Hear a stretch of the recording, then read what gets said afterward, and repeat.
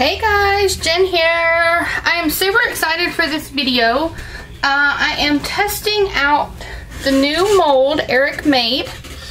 And he said I had to test it before I could put it on the website for sale. So it's a sliding bottom mold. And I wanted to show it to you guys before I line it. Um, here's the bottom.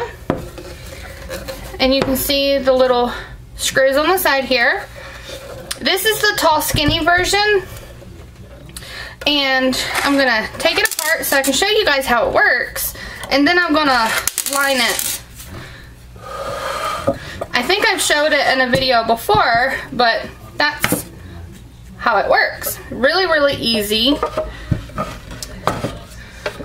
Um, I am going to line it really quickly. I actually have a new video I want to do on lining um, molds and hopefully to keep it from uh, leaking. So I've got my liner here. Um, I'm, this, I'm testing it out today, this one. Um, I'm restocking my oatmeal milk and honey soap. So I'm to pause you guys, get some tape for the sides. Uh, I have everything ready to go, um, so I'll be back in just a minute. Okay, so I'll talk a little bit about this soap while my lye water is getting mixed up because I've got my silk in it. I always mix it for, you know, 30, 45 seconds to make sure my silk is dissolved well. So I'll bring all my ingredients out here for you. Um, I've never really went in depth on how I like to do my oatmeal milk and honey soap. So, um, I have my hard oils and my liquid oils, and inside my liquid oils is two tablespoons of kaolin clay, two tablespoons of colloidal oatmeal. And then I get my little coffee grinder I fill it with whatever fits in it with regular oatmeal, not instant, just regular oatmeal, and I grind it up.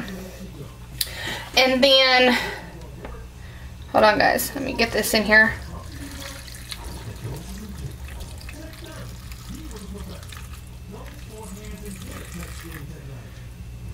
Okay. And then um, I like to I normally do um, about 5% of my liquid in um, a milk of sorts uh, on all my normal soaps is what I'm trying to say. For my oatmeal soaps, I like to double that amount. Um, so I'm using a reduced lye water solution and I have twice the amount of milk that I normally use. And then I, of course, have my honey. Now, my honey, I only use, um, there is about three teaspoons in there. Not tablespoons, just teaspoons of honey. You'll have to keep in mind when working with sugar, that is in milk, that is in honey, um, that it can cause your soap to heat up and uh, overheat. So my oatmeal soaps is ones that I really keep a close eye on and um, make sure that it doesn't overheat. I never cover it. I don't put it in the oven. Uh, most of the times I turn, I put it on my kitchen table and I turn the ceiling fan on. And then I also have my fragrance. So this is what all goes, and I just use oatmeal milk and honey from Be Scented, obviously. This is what all goes in my oatmeal soap. It is wonderful. I do no colorants. Uh, it's a very gentle soap. Um, I'm using uh, coconut milk. You can use buttermilk. You can use uh, goat milk. You can use regular whole milk, you know, cow's milk. Um, you can use a combination of the three or four, whatever, um, and, you know, make a multi-milk soap. But I had coconut milk on hand. I also have whole milk on hand. But um, I try to keep coconut milk on hand for soaping. So I, I generally always have that. So I'm just gonna buzz up the rest of these.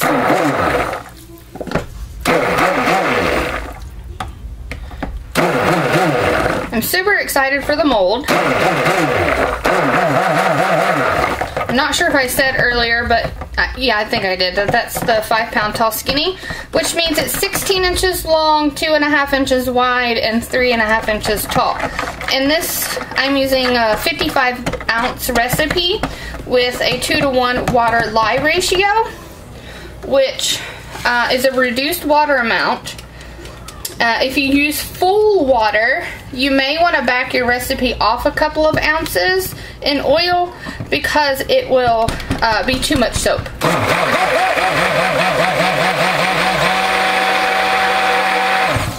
I use 55 ounces and then 2 to 1 and it generally fills it right to the brim on my tall skinnies. So we're just going to sit this over, put all our liquid oils in. I like to buzz them up just because it helps incorporate some of the additives that's down here. I don't know if you can see on camera, but some of them were stuck to the bottom. So I'm scraping those out to get them all in there. I have also used in the past um, powdered uh, heavy cream. it's also, you can use heavy cream uh, as your liquid uh, milk, um, or you can just use cream. People have asked if you can use half and half. You can. Half and half is just a mixture of heavy cream and whole milk. There is nothing wrong with using it. So now we're going to get in our additives. Gonna pour in my honey. Now my honey, I always pop it in the microwave for 10 seconds and it makes it liquid like this to where I can get it out.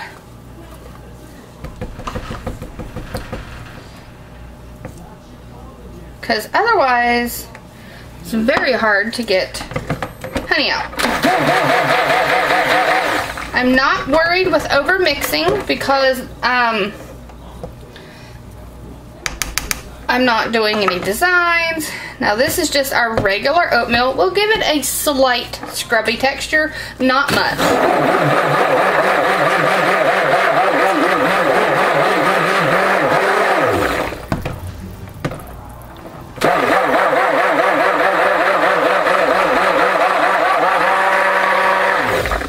Now let's add in our milk.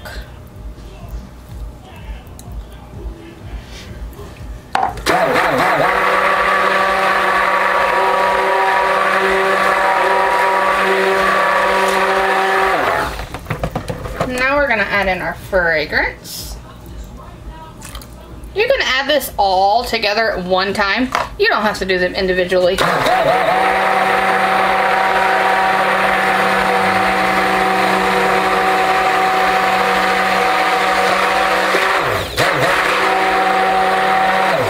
Now, I don't know if you guys have noticed, there is a color change. And that is the sugars reacting with the lye. The soap will end up being a very pretty nice caramely color once it's cut and cured. Right now it will turn a little orangey.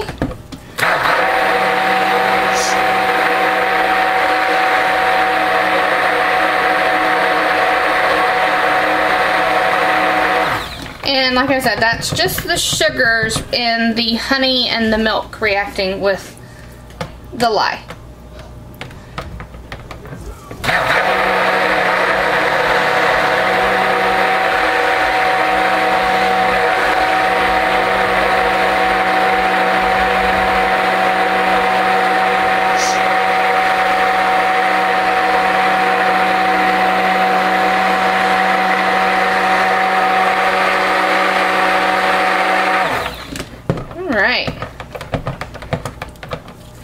Going to get this poured.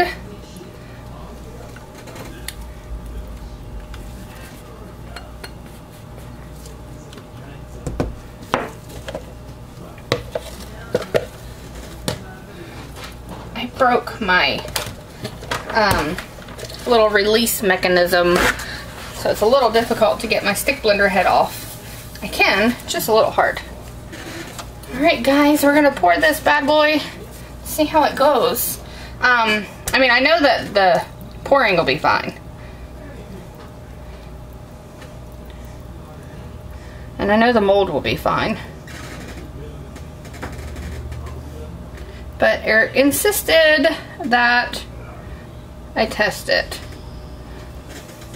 Now, I'm going to have to let this set up and I'll, I have just a tiny bit in there. I'll put it on the top and texture the top. I'll bring you guys back in a minute. Okay guys, so we're to put the rest of this soap on top and after thinking about it, I realized that um, I used like two ounces extra liquid because when I measured out my water, I only needed about 11, uh, 10 ounces of water. And when I measured it, it ended up being 12 ounces, and I was like, eh, it'll be okay. so that's where uh, most of this extra soap comes from. So I use a little bit extra water than I normally would have. But no big deal. Gonna get something to swirl it. Um, also, I want to talk to you guys really quickly and let you know, because this will be the first video that I post. Um, the mystery boxes on Be Scented, the gold ones, are 10% off now through the end of the month. Not long left, um, but I'm hoping I can get this video up before it's too late. Um, we have less than 15 left. We made extras and like they're gonna be gone before no time flat um yeah I was like I was a bit surprised actually because we made a bunch of extra ones and they have sold like mad this month's mystery boxes are a collection of some of my favorite items that I use So, hint, hint.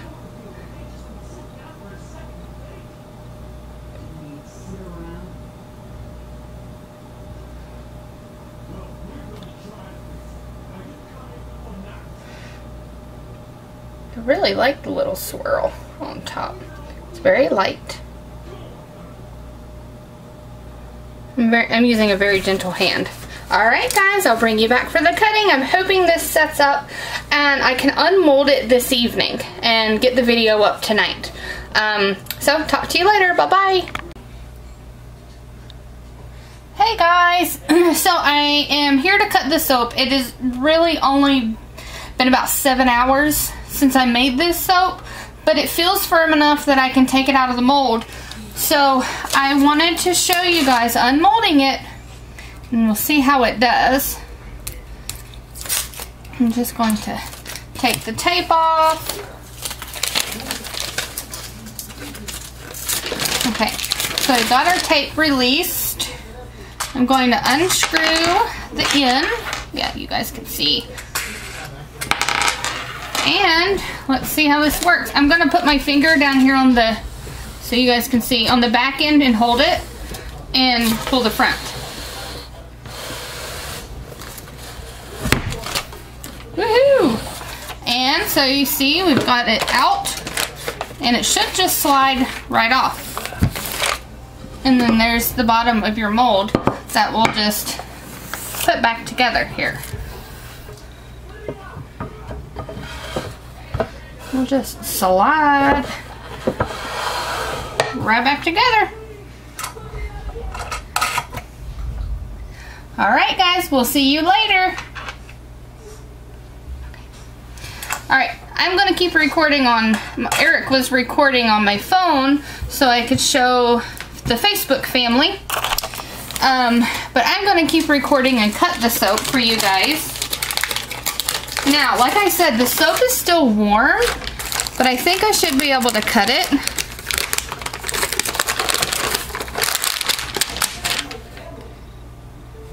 Yeah, I think it should be okay to be cut It's still soft. But like I said, it's only been about seven hours. I'm gonna get me some gloves. Give me just a second.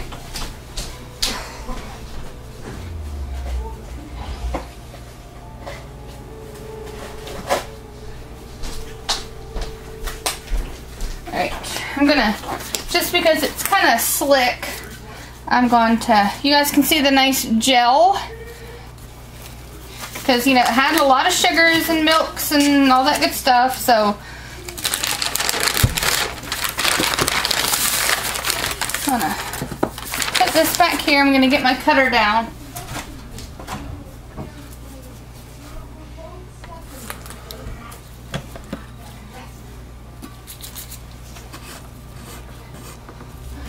This is next on our agenda or Eric's agenda to get stuff made for you guys. I'm gonna cut a little end piece.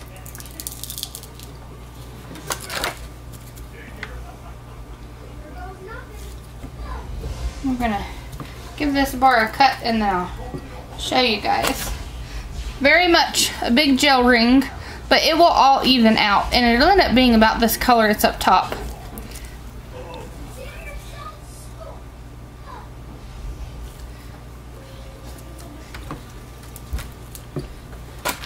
But it turned out really, really good. I'm not going to cut the whole thing on camera just because every bar is exactly the same. But this will be the last one. You guys can see it turned out really, really good. Thanks for watching. We'll talk to you later. Bye-bye.